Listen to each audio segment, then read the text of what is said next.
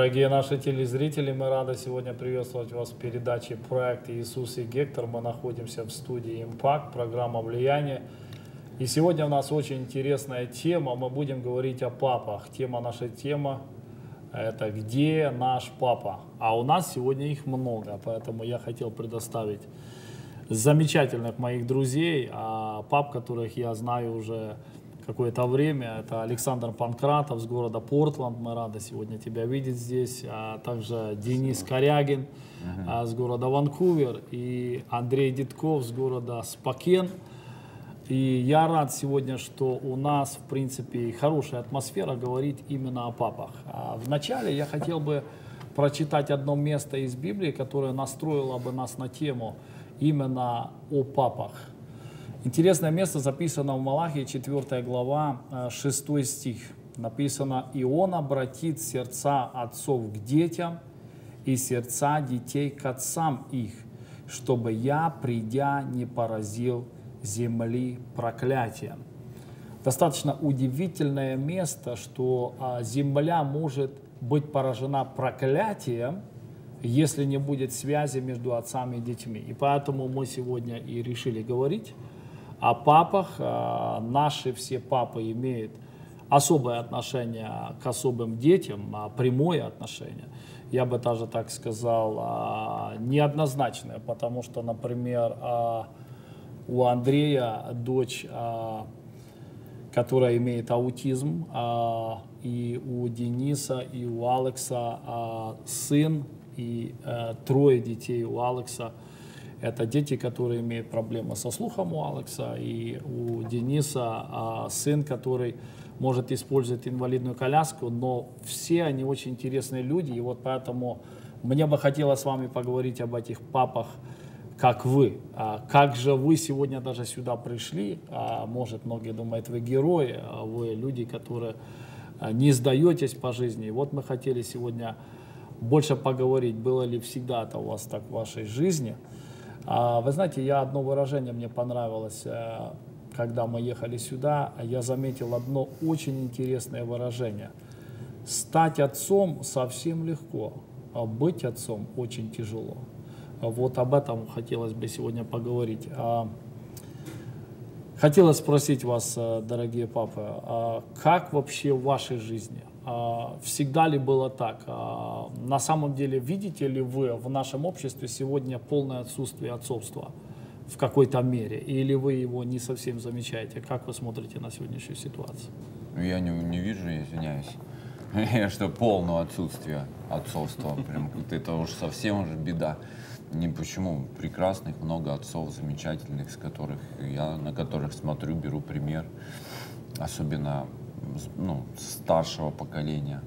А, вот. Поэтому я бы не сказал так, но проблема есть большая. Да, есть. То, то есть мы в какой-то мере понимаем, что проблема есть, ее нужно решать. Иногда даже приходишь в церковь и в какой-то мере всегда больше сестер, в школу приходишь больше мам. А, ну, все, короче, мама, где папа?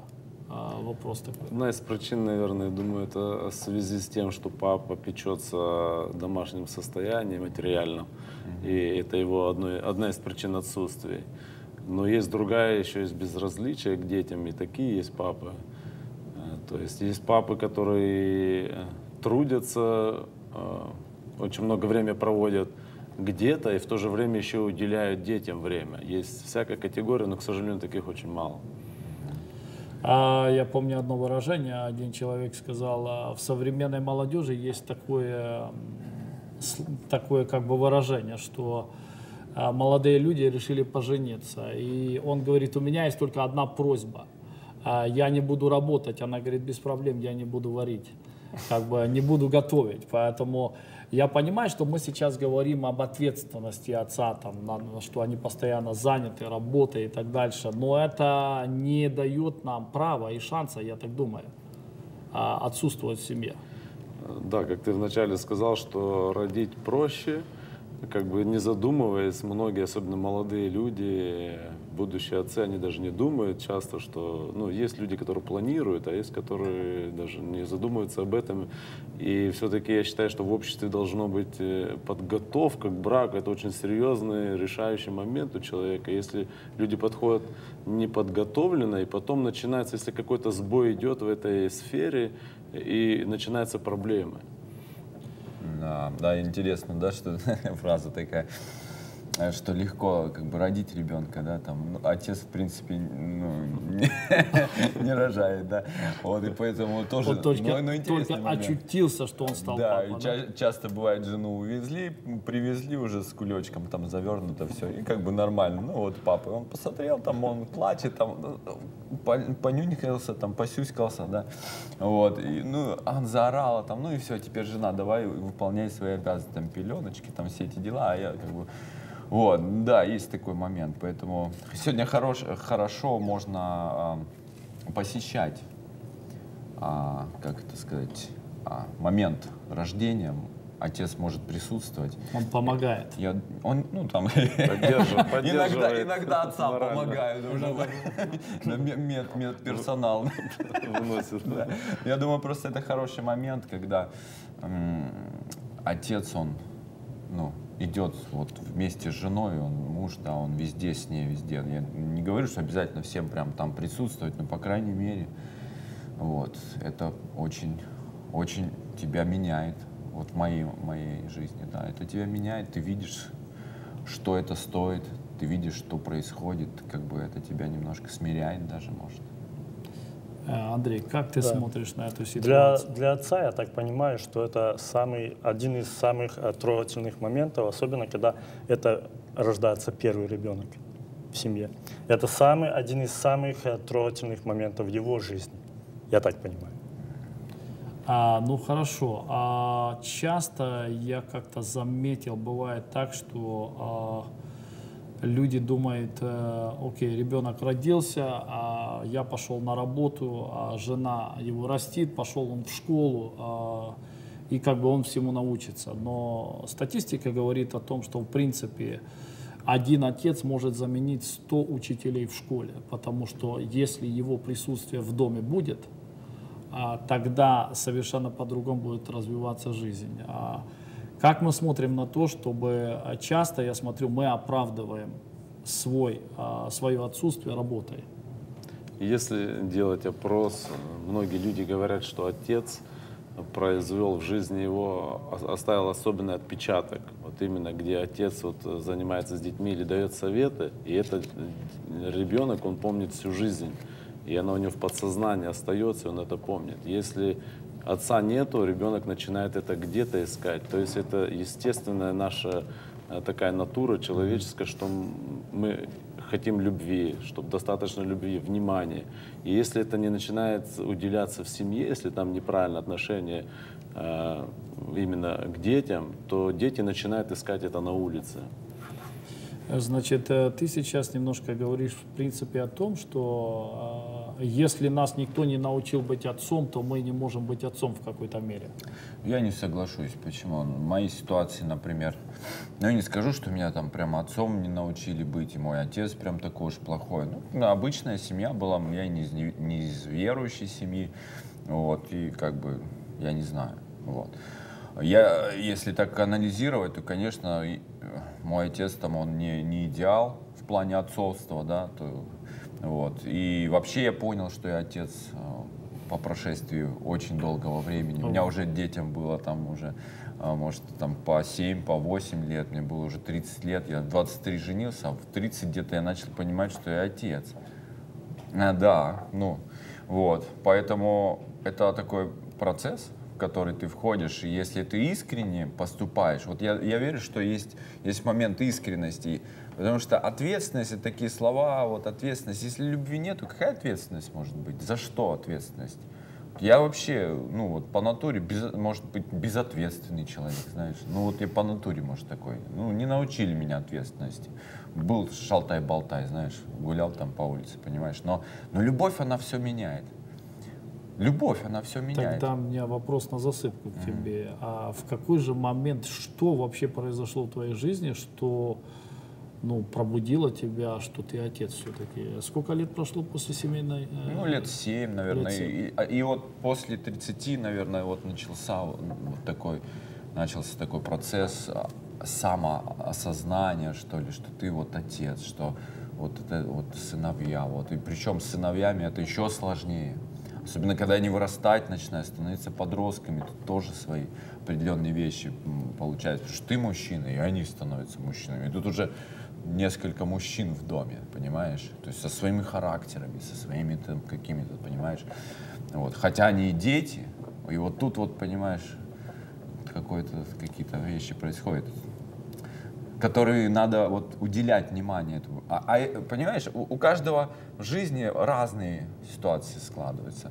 Но я верю, что мы все уникальные, семьи уникальные, там, опыт уникальный. Но я верю, что если есть любовь, все остальное, оно на это накладывается. Потому что если ты по-настоящему любишь, ты не бросишь, ты не оставишь. Ты будешь делать кучу ошибок, как я, например. Вот. Но все равно ты, ты не оставишь. Не оставишь свою позицию, не оставишь дом свой.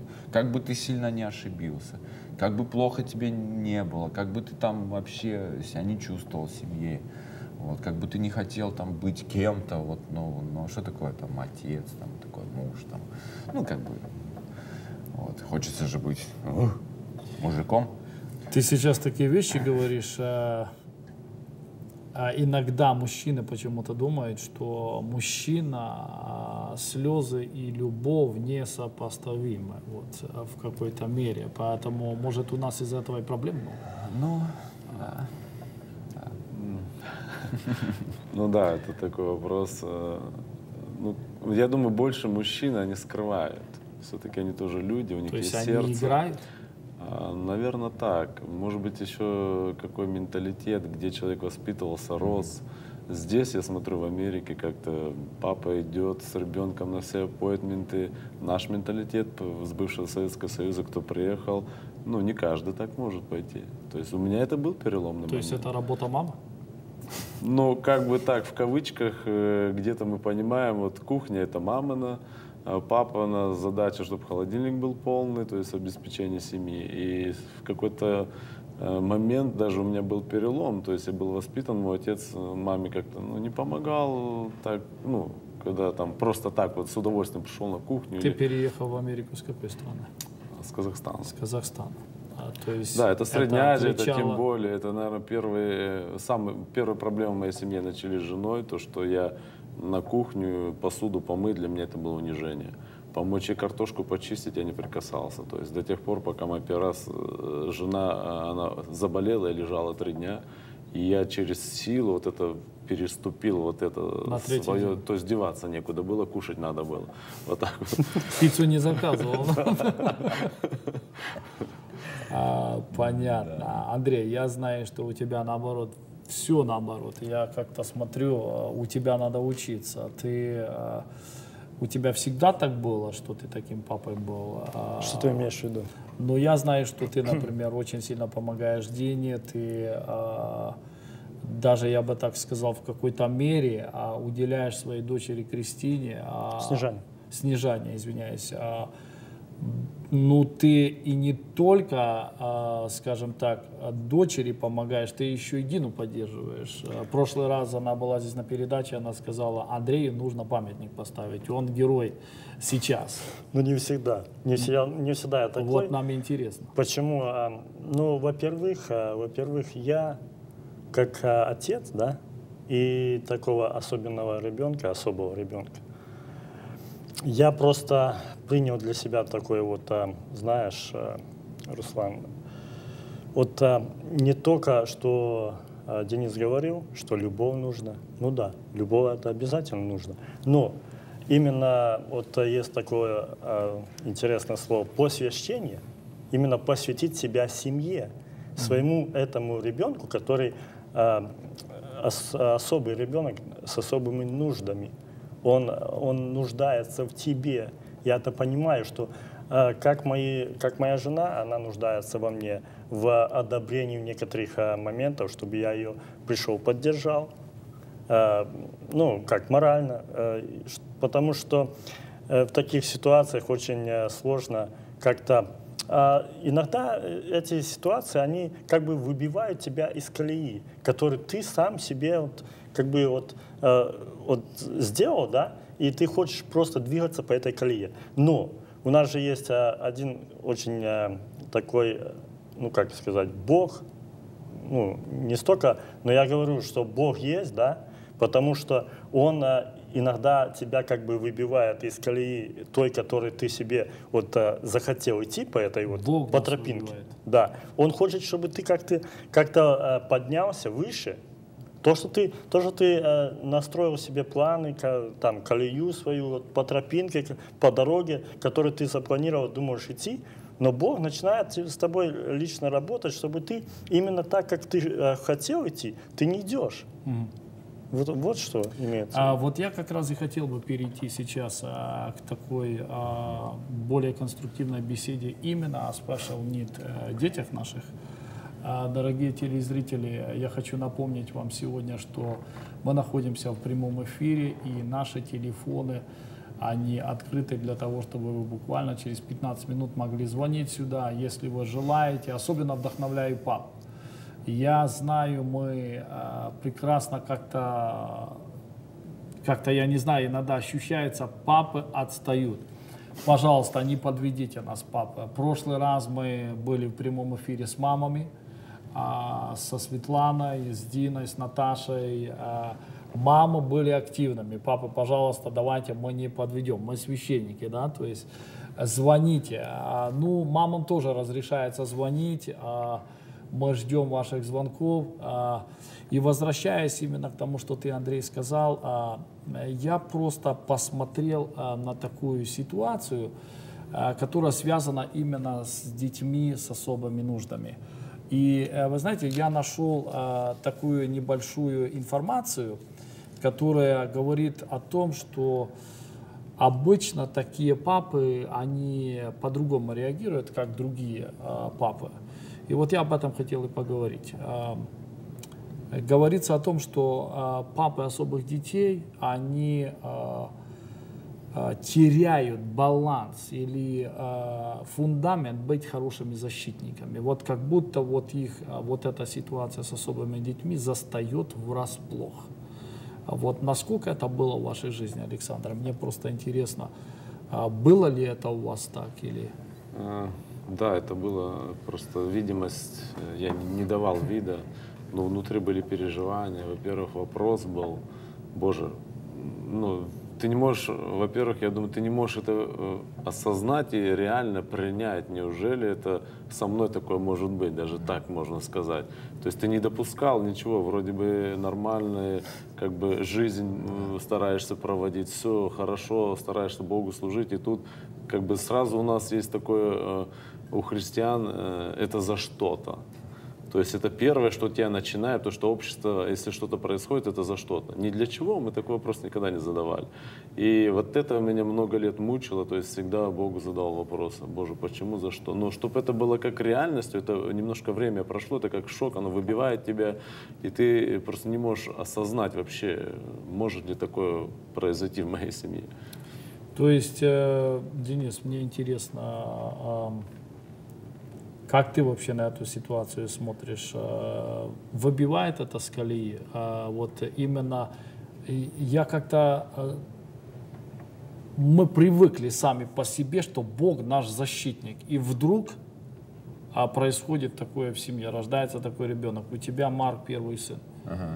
А ты почувствовал, что как-то твой мир развалился, или как тебе защитить, или ты сам вообще был такой ситуации, как беззащитный сам, или был ли ты способен защищать свою семью? Такой вопрос, защищать от чего вообще? А, ну, даже просто от того, что защищаться от себя вообще.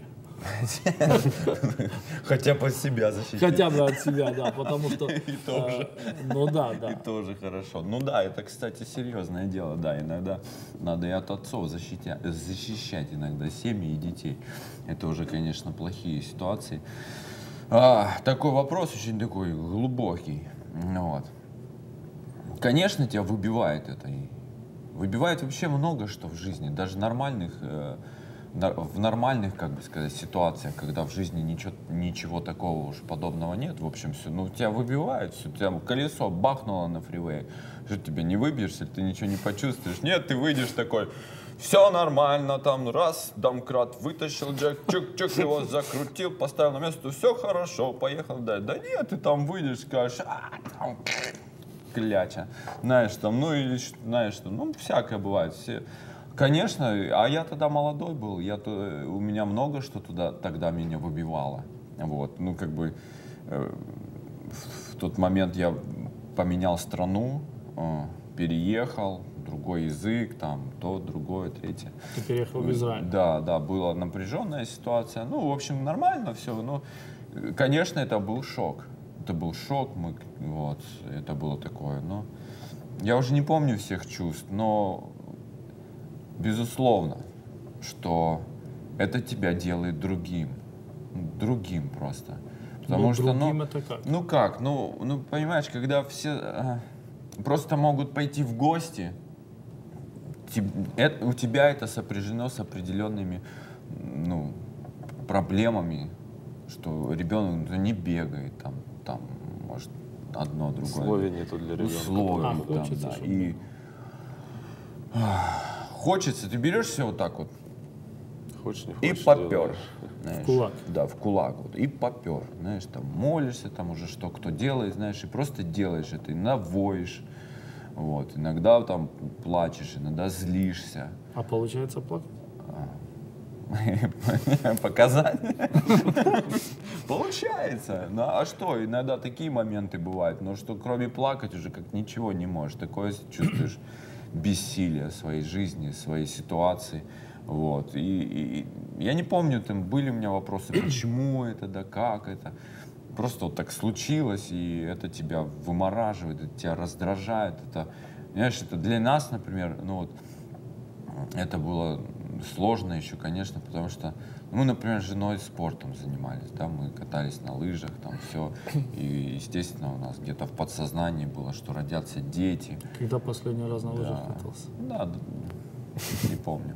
Вот. И, и мы там с ними. Мы, у нас получилось здесь, в Америке, когда они еще маленькие были, у нас, когда еще только двое было мальчишек, Марк Дан, мы встали с ними на лыжах. Это был фан вообще, это было классно. Вот. Но, но тем не менее, ты всегда чувствуешь, что вот у, у тебя складывается не так жизнь. То есть все твои планы, все какие-то... И причем, знаешь, по-честному, все эти планы, они ничего не стоят все эти планы, они просто потому, что тебя так воспитали, потому что ты так вырос, потому что другие так делают. У всех же схема вот такая железная.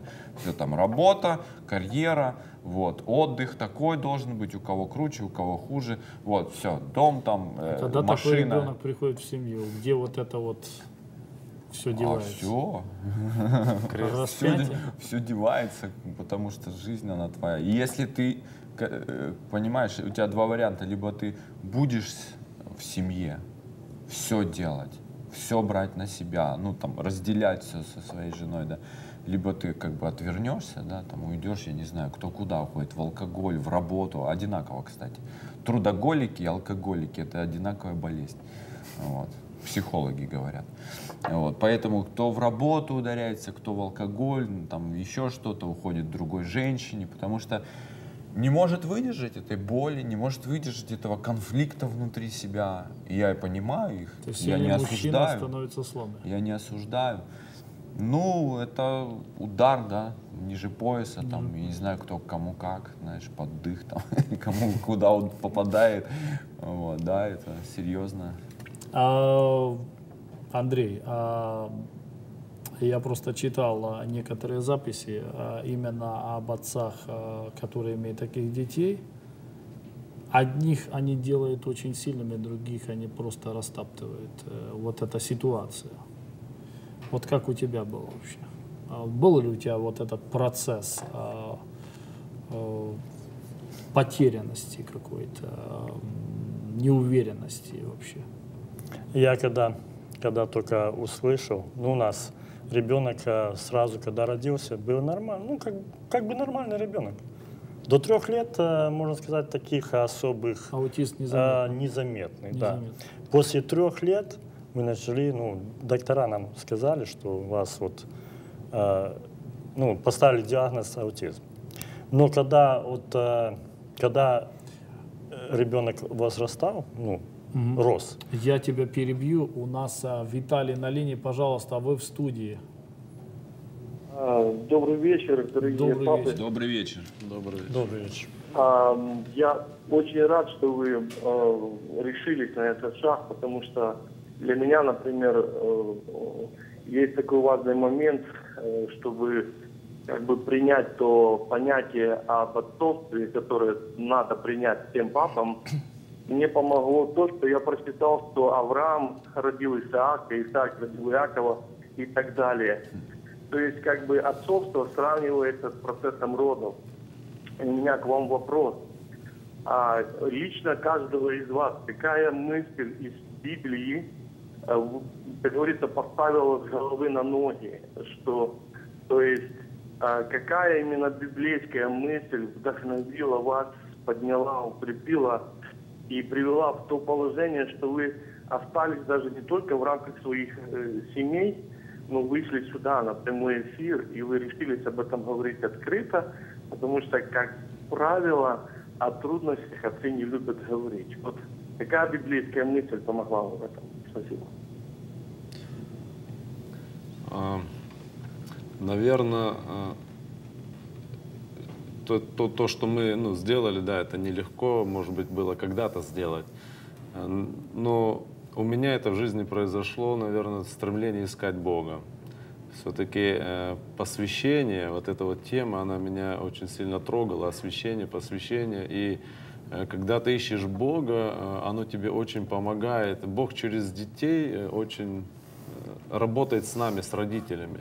Потому что это самое больное, дорогое, если оно для родителей дорогое, дети. И очень много меня Бог учил через детей. И именно что э, вот это вот посвящение, иногда Богу нужно провести тебя через определенные обстоятельства. Я этого не понимал, почему я говорил, за что, Господи, а теперь я э, говорю, Господи, для чего, когда я сказал, я понял, что эти обстоятельства, они меня сформировали, чтобы даже э, как, как личность и чувствовать боль других. То есть, если я не был в этой ситуации, я теперь не могу помочь другим людям. Это меня открыло и дало, дает мне стимул помогать другим людям, потому что я не хочу, чтобы люди переживали то, что я пережил, и, можно сказать, некому было помочь. Только вот Господь вот так вот э, в тайной комнате поддерживал меня. Да. А, у меня был момент такой, э, так сказать, чтобы одно вот место из Писания, потому что э, так сложилось, что это был момент в моей жизни, когда мы только поженились. И перед этим я буквально ам, за год до этого я уверовал. И я был погружен в Библию. То есть я читал ее, я, я много читал. Много читал книг, много читал Библию, я был в служении, я занимался молодежью, я посвятил себя этому. Я любил Бога, я видел Его силу, Его чудеса в моей жизни. И был момент, когда Марк родился, и мы были в, в чужой стране, ну, на тот момент мы только пять месяцев, сколько это, год, может, были там. Вот, и нас отвезли в, в большой город, в, в Тель-Авив, большой, огромный город. И у меня ничего не было с собой. У меня была мелочь какая-то железная, телефон, который заканчивался, заканчивалась батарейка на котором. Вот, и меня вот с ребенком посадили в обычное такси с медсестрой и отвезли туда на операции. Жена осталась э, в другом городе, далеко. Я оказался вот в таких, э, в таких обстоятельствах. И у меня была мысль, когда я, это было глубоко под землей, там интересно, это госпиталь такой военный был, вот, и под землей там делали операцию, вот. И я стоял там вот в этом ощущении интересном. Я был один, а, никого не было рядом. И, и было такое ощущение, а что, вот, ну, а что теперь делать? Ну вот факт. Мы молились, думали, вот все врачи неправы, а мы, а, а мы, вот он родится, и вдруг он будет здоров, а нет. И вот было такое ощущение, я думал, меня, я видел прям такую картину перед собой, думал, что делать? Вот я стою на пороге, там тьма. Ну что мне теперь? Пойти покурить? Пойти что мне? Что мне сделать? Там, ну. А отец там, в доме, и я не иду к нему. И я вот стоял на распутье, я понял, что мне некуда идти. Мне, мне некуда идти. Мне нужен он. Он мне нужен. И как-то я вот цеплялся, а вторая мысль сильная пришла недавно. Когда я начал размышлять и понимать о том, что мои подрастающие парни, одному 13, другому 11, они уже взрослые становятся. Они уже не становятся, они взрослые, они иногда меня сами поддерживают. Вот. И, и я понимал, что у меня нету такой любви, достаточно такой вот любви к ним, вот которой бы хотелось бы. И тогда вот действительно место Писания мне одно очень сильно помогло. Я начал читать молиться о том, чтобы Бог открыл мне как-то вот эту историю о Якове. И когда я просто читал, я наполнился такой вот вдохновением каким-то. Мне, я увидел, что его история, она была очень долгой. Это не было несколько дней, это был путь всей жизни. Это был трагический путь, это был сложный путь, в котором он терял сына, в котором он проходил через разные испытания. В конечном итоге все настолько сжалось, что он, они могли погибнуть от голода, и ему приходилось от, от еще одного своего любимого сына отдать. И вдруг все меняется. И к чему приходит? Он благословляет своих сыновей. Бог ему дает слово. И вдруг, когда я это читал, я понял – что я иду к чему-то. Я иду к моменту жизни, когда я смогу им передать мое благословение. Не мои просто хорошие слова и сказать, вот, э, сыночки, читайте Библию, молитесь. А я верю, что нас Бог ведет к какому-то моменту, который мы еще не знаем. Но там, в этом моменте, мы благословим своих сыновей, и сыновья пойдут дальше, и мы увидим это, и мы будем очень счастливы. Э, дорогие, а, на самом деле я заметил, а, вот хочу еще раз напомнить а, то место, которое мы прочитали в начале, что и обратить сердца отцов к детям и сердца детей к отцам. Для чего все это нужно? Чтобы я, придя, не поразил земли проклятием. Это, это насколько серьезно, насколько нам, отцам, нужен сам Отец – чтобы, чтобы земля не была поражена Это ключ. Это ключ. Это ключ. Это ключ, получается, ну, человечеству, да, угу. ключ, э, то есть любовь Отца Небесного и любовь нас, отцов, к своим семьям, угу. это, а, как сказать, останавливает проклятие. Да, это очень сильное место, и я даже никогда не задумывался, что я всегда э, понимал, то есть и реакция нашего общества, они ждут, э, что молодежь должна прийти, преклониться перед старым поколением, быть подслушными. Почитать их, да, да, и там. мы всегда с них требуем. Да. Но когда я стал вдумываться в эти слова, я увидел, нужно отцов к детям повернуть. То есть э, войти в это, понять вообще, где они сейчас находятся, потому что сейчас большой разрыв. Э, вот эта наша технология, она настолько усовершенствована, молодежь идет в одну ногу с ней. И если наше общество не развивается, мы не говорим там о толерантности, я не говорю о том, но есть такие моменты, что мы просто вот э, пытаемся держать молодежь в том образе, каком мы выросли. И мы хотим их сделать такие, как мы, копия. То есть э, Бог э, запрещает нам делать наши копии, ага. только Он имеет право делать копию. Все оригиналы? Да. Да, каждый э, человек индивидуален, и Бог хочет работать с каждым индивидуально. Еще я, я хочу сказать, знаешь, потому что это такая глубокая тема, вот так сказать, что вот это место Писания мне сделало что-то и, и направило, или что. Это очень действительно такой глубокий процесс. Одно из вещей, я думаю, что меня направляет к детям, это страх. Страх. Страх? Страх. Божий страх. Не паника там, не переживание. Это страх, который он приходит в твое сознание. Он тебя не, вот на нервы он не действует, понимаешь? Mm-hmm. Страх животного на нервы действует. А, а этот страх он приходит в твое сердце, в твой дух, в твою он душу. Он приходит с возрастом или он приходит Нет, с близостью? Нет, он был всегда, но он как-то я не знаю, это его живое присутствие, наверное, его присутствие Духа Святого. Когда ты понимаешь, я не хочу видеть моих детей разбитыми. И когда я вижу, что мой ребенок, мой сын, он что-то переживает, ему трудно, я не спокоен, мне трудно. Я уже не могу быть настолько счастливым. И я понимаю, если я, я сейчас не смогу ему помочь, не смогу проявить к нему любовь, милосердие, а буду таким, знаешь, вот как там, то тогда будут печальные последствия.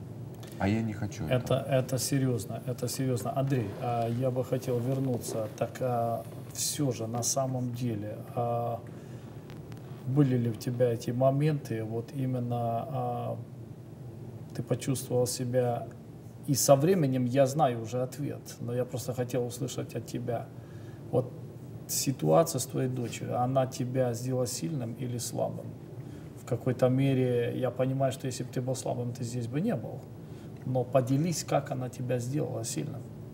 А в начале, в начале когда я э, понял, что у меня ребенок такой с особыми нуждами, да, э, меня как бы это как бы просто выбило. Я не мог, э, я просто как бы, с одной стороны, я был как бы потерян, но я не мог, не мог понять, что происходит. Я просто задавал вопросы. Реально вопросы задавал Богу. Господь, ну почему? Что за причина? Но ответы, э, как правило, Бог сразу не дает это должна быть, э, пройти какой-то отрезок времени.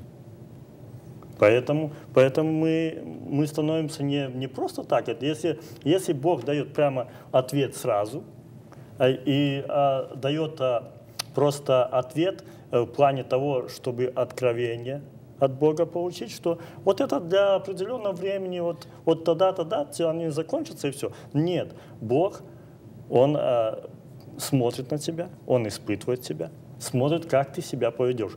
И э, я не скажу, что я очень такой сильный. Да, я, я был, э, ну как, по, на, в натуре, да, если так, э, в, в сущности моей, то я, я считал себя слабым. Но когда, когда я читаю Библию, когда э, апостол Павел говорит, что в Боге я, моя сила, я черпаю от Бога силу, Э, апостол Павел говорит, что в немощи я силен, меня эти слова как-то взбадривали. Они давали как будто какую-то свежесть, как будто, вот если, например, жара на улице, да, угу. и ты придешь к родниковой воде, вот у нас в нашей местности там иногда, ну как течет, текут родники, ты придешь, там и кружечка, там, ну, зачерпнешь эту родниковую воду и э, попьешь немножко, оно оживляет, отрезвляет тебя, как-то как дает а, тебе, твоему организму какую-то свежесть. Вот, вот эту свежесть. То есть Он, ты Бог, сказать... Бог эту свежесть давал в мою жизнь. Через немощь. Э, не только через немощь. И с одной стороны через немощь, но, но ты, а, я так понимаю, что Бог, Он дает тебе силу. Если э, само самое ценное – это взаимоотношения с Богом. Просто обращаться, говорить как, как с каким-нибудь самым лучшим другом. Вот рассказывать, ну, очень просто. А, прекрасно, на самом деле это важно. Дорогие телезрители, я хотел напомнить вам, мы находимся в прямом эфире, тема нашей передачи «Где папа?». Вы можете звонить нам на телефон, который видите на экране прямо сейчас – мы здесь в студии готовы с папами отвечать на ваши вопросы. Я бы хотел продолжить дальше. А вы знаете, а, в прошлый раз у нас здесь были мамы, и Света сказала а просто, ну, я бы сказал, ну, такую, э, такое выражение, которое просто заставило меня думать. Она говорит, каждый раз, когда мы собираемся со special need детьми, такое чувство у нее сложилось, что все эти женщины одинокие. Она спросила, а вы вообще замужем? Или... Потому что в американском обществе 95% разводов. 75 и, и по нарастающей. Именно в таких семьях, да? Именно в таких семьях. Мужчина, вот он просто не выдерживает и все. И э, вы знаете, у меня вопрос вот э, к вам. А, Понятное дело, нам не нравится, когда нас женский пол наставляет. Это сложно воспринимается мужским полом. Но кто-то-то должен наставлять вообще. И как бы вот вопрос у меня такой. А что нам сегодня посоветовать этим папам? А, а, я встречался с такими ситуациями, где мамы говорят, а, реальная ситуация. Сыну 11 лет, у него определенные есть special need, особые нужды. Папа не может с семьей ходить в церковь вместе с ними. Ну, что нам делать? Вот мы папы. А, Денис, как ты думаешь, ну, обвинить, ну, это же Не, нельзя обвинять, нельзя. ни в коем случае. Мы мужчины, мы обвинять? понимаем. Нет. Никак нельзя обвинять. И тут вообще это неуместно, потому что, ну, серьезная ситуация. Ну, можно как бы, да, мы все привыкли, мы вот сидим, мы отцы прошли уже что-то, да, мы, как бы это правда, мы прошли. Вот. И, но если так по-честному взять, то сложно. Ну, это сложная ситуация, это трудная ситуация, непростая. Почему у нас так произошло? Ну, вот так произошло. Вот как-то вот Бог вел нас. А как у них произошло? Почему у них так произошло? Мы не знаем. Тут только одно, что мы, я и в своей семье, и с детьми вижу, и в церкви вижу, что нам всем очень не хватает, это быть искренними и честными. По-настоящему искренними и честными Перед кем людьми. и с кем? Перед всеми. Перед Богом, перед самими собой, перед братьями, там, сестрами, перед всеми. Не играть в игру ни в какую. Это очень опасно.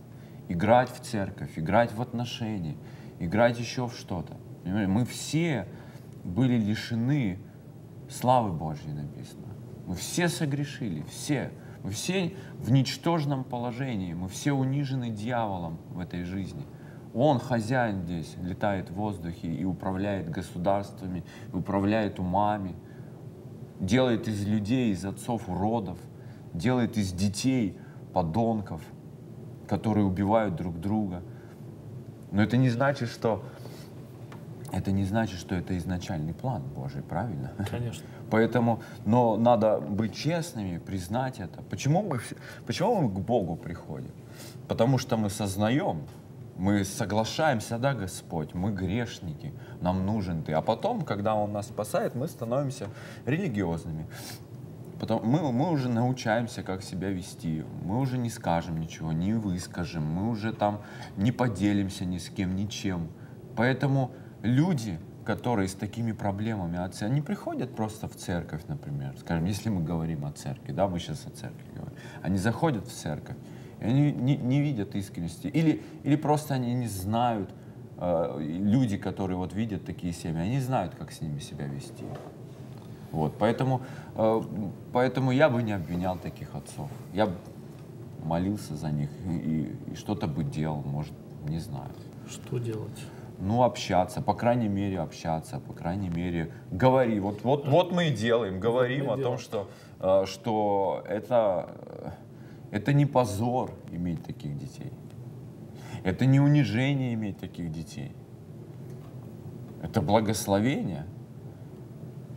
Любить человека, особенно своих людей, ой, своих э, домашних, да, своих людей домашних, да, и своих детей, такими, какие они есть. Вот как есть. Вот любить их такими, как есть. И не, а, а любовь, она какая, понимаешь? Потому Иисус говорит, что кто меня постыдится, того я постыжусь. У нас э, у нас э, телефон, я так понял, пытается дозвониться. Если вы все-таки звоните, вы продолжайте звонить, вы дозвонитесь нам в студию. А, вы знаете, а, Александр, хотел спросить вас такой вопрос. А, я увидел, что а, общепринято как-то, что такие отцы, они очень сильно уязвимы, они очень, э, ну, ну просто уязвимы, когда у них особенно такие дети. Вот э, как вы можете сказать из своей личной жизни, вы согласны с этим выражением?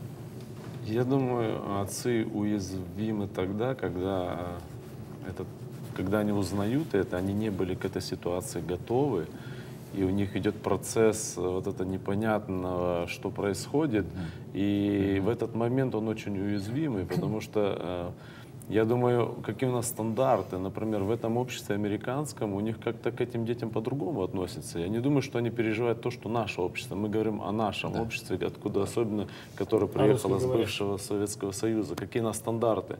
То есть у нас всегда это или за грех, э, у людей понятие, и ты боишься выйти в общество, то есть э, осуждают. Нас очень интересует мнение людей о нас. Угу. Вот это, я думаю, это очень большой порог, от которого нужно освобождаться. То есть, э, и когда у отцов такая и идет ну, вот эта борьба, это какое-то время, у кого-то это несколько месяцев, бывает несколько лет. И если он еще в этой борьбе, то он уязвим на всякую мелочь, он реагирует очень отрицательно. А со временем, я думаю, это просто перерастает уже заглушается эта боль, она на подсознательном уровне, если кто-то уже глубоко не копнет, тебя не оскорбит, не зацепит, то ты не отреагируешь. А вначале ты реагируешь на взгляд, на мнение людей, на слухи. Это тебя просто, и ты не знаешь, что делать. Тебе лучше действительно закрыться и не выходить на общество, mm-hmm. и люди ищут свой мир.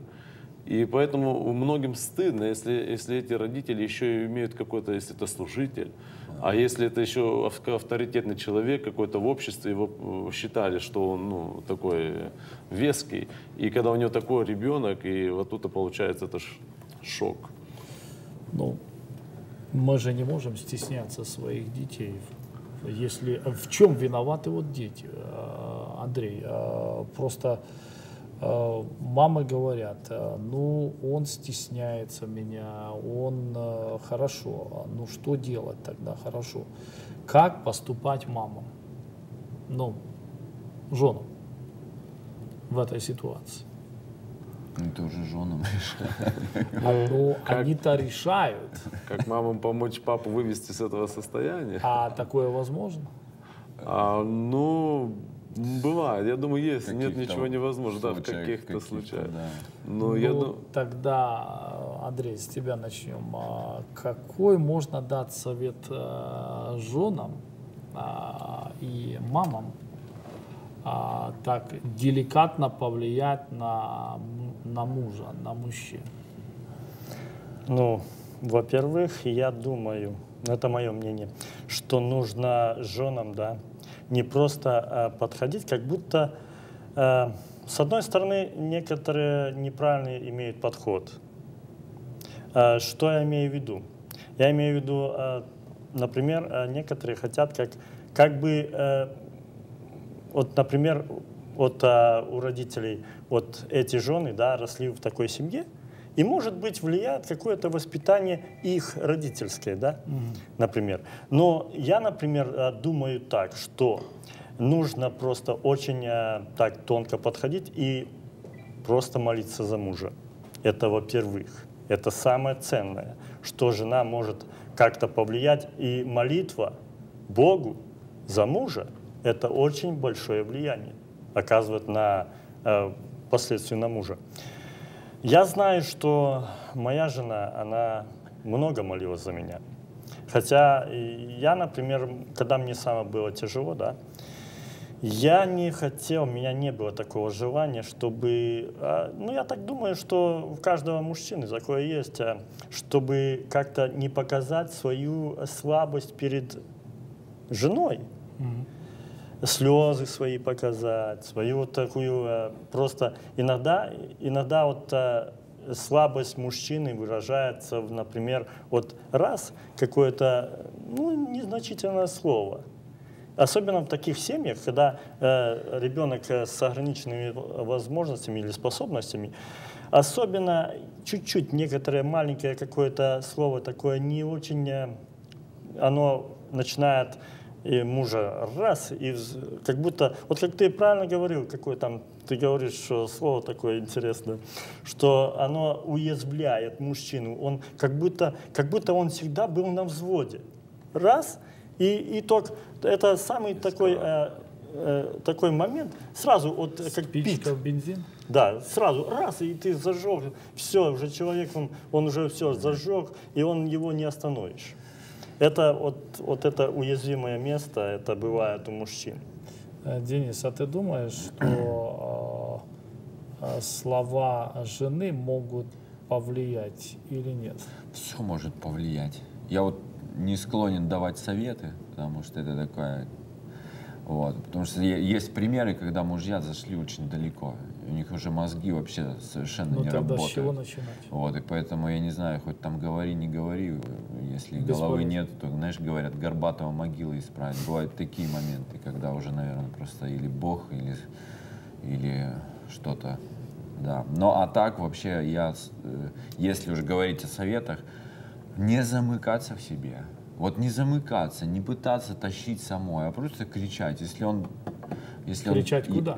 в церкви, ходить там, вот правильно, молиться, ходить на молитвы, говорить там, все, прикладывать. сдаваться. Нет, быть открытой и, и, и трезвонить во все вот, вот, во- вот А если как мужа это угодно. раздражает? А чтобы его раздражало. А, чтобы его Чтобы раздражало? его раздражало. Значит, если он не выполняет свои а, вот, прямые обязанности отцовские, он должен получить по заду и двигаться, понимаешь?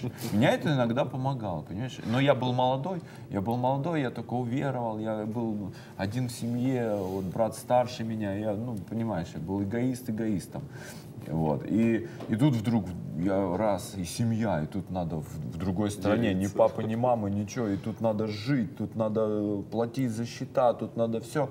И тут служение еще, и я вообще новообращенный, и тут ребенок, и тут дети, и, и, и и жена, и все вот это, вот это.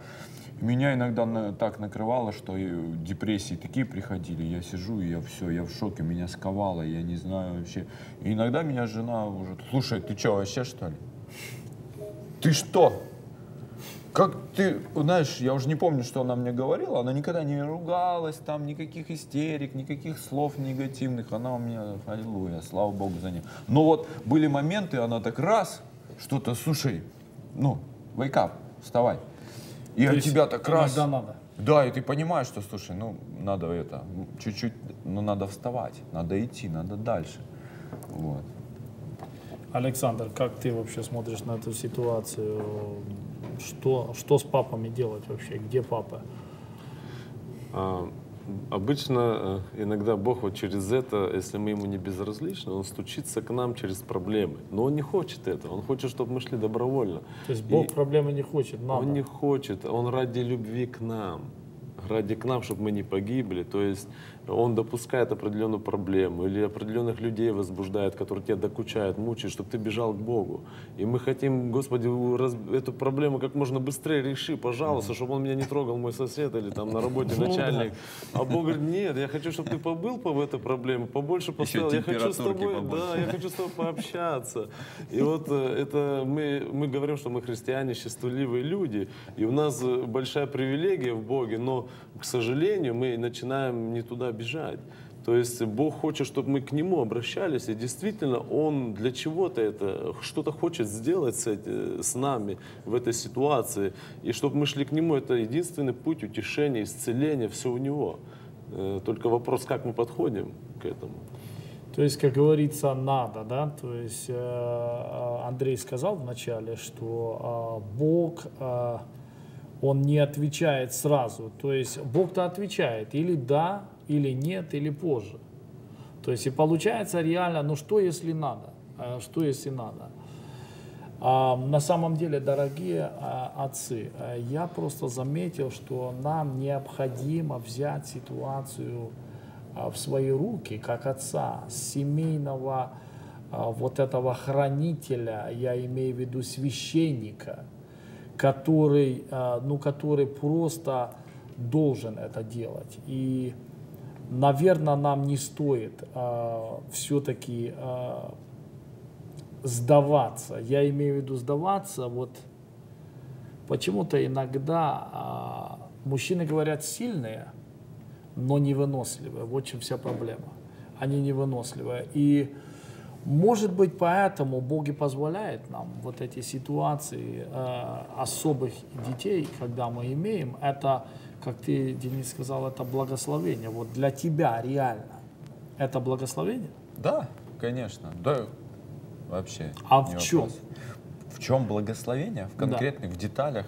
Да я могу рассказывать часами здесь сидеть. Ну вот одно какое-то. Чем Марк для тебя благословением? А, Это твой первый. Я, я просто сразу скажу, что я, я не, не- мне трудно очень сосредотачиваться на Марке, потому что мы никогда не ставили его в каких-то, ты знаешь, там, он получает у нас, как и все дети, и, и воспитание, и наказание, и любви, то есть у нас нету таких, как бы, вот.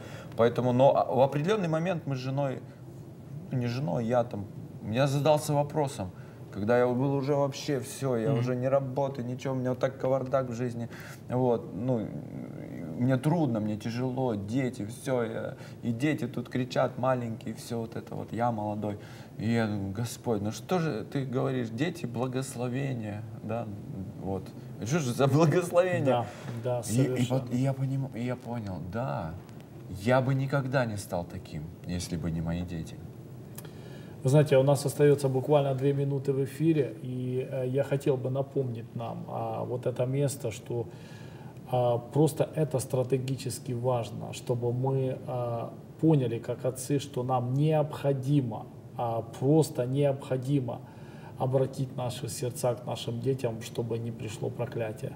А, у нас буквально остается одна минута в эфире. Александр, я хотел бы, чтобы ты помолился за наших отцов, и мы благословили их, а, чтобы они действительно смогли найти Господа. У нас буквально есть короткое время. Отец Небесный, мы благодарны Тебе, что Ты открылся нам и помогаешь нам помогать людям, которые находятся в подобных ситуациях.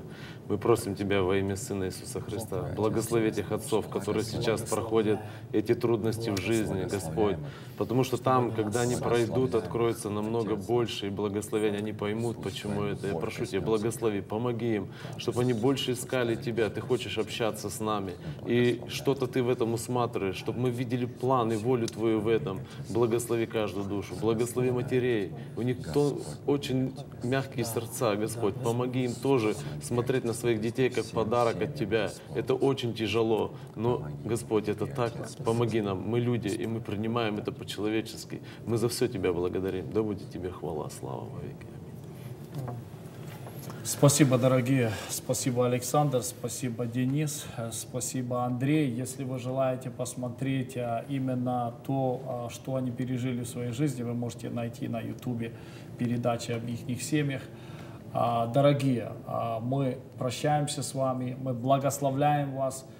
Верьте в Бога, не сдавайтесь, папы. Нам нужно быть дома, и это очень стратегически важно, чтобы наша семья переживала благословение. Спасибо вам. Спасибо всем. Спасибо. Спасибо. Спасибо. Пусть Бог благословит вас. До скорой встречи. Мы вас любим. С Господом.